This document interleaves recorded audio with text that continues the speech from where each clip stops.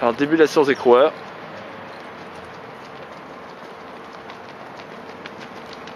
Allez gars